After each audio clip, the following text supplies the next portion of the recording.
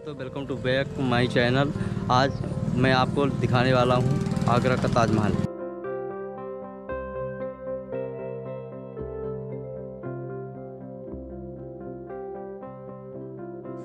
दोस्तों, आप देख सकते हैं आगरा का ताजमहल का एंट्री एंट्री वाली एरिया है। यहाँ से एंट्रेंस करते हैं।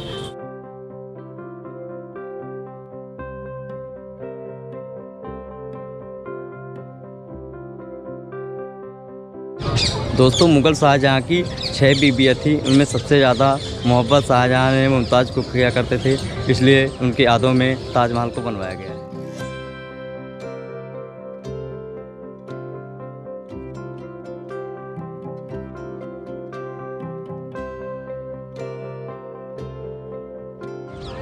दोस्तों ताजमहल की पहली खासियत जो इसमें ताजमहल में संगमरमर के पत्थर यूज़ किए गए हैं, वो मकराना राजस्थान से लाए गए हैं।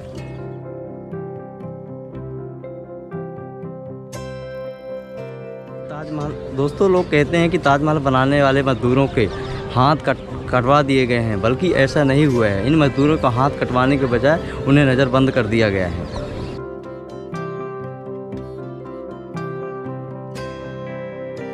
दोस्तों, ताजमहल की सबसे खूब सबसे खास बात यह है कि यह दिन में तीन बार कलर चेंज करता है। दिन के सुबह के टाइम पे ब्लैक, दोपहर के टाइम पे वाइट एंड शाम के टाइम पे गोल्डन कलर में नज़र आता है।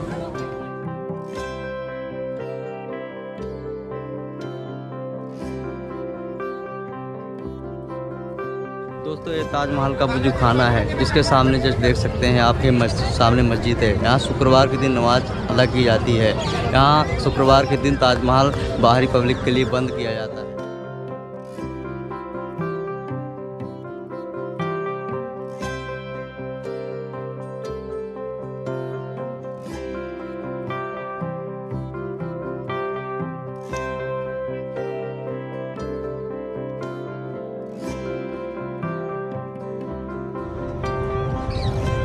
दोस्तों, ये है ये है ताजमहल का बैक साइड का नज़ारा। आप देखते होंगे, इसके पीछे आप देखेंगे जस्ट बाउंड्री के पीछे देखेंगे ताजमहल की तो जमुना नदी बहती हुई, बहुत ही कल कल धाराओं से बहती हुई शांति माहौल से बहुत ही अच्छा प्यारा नज़ारा लगता है। यहाँ पे अगर आप कभी भी उत्तर प्रदेश के आगरा डिस्ट्रिक्ट आते हैं तो यहाँ पे आगरा में ताजमहल आना ज़रूर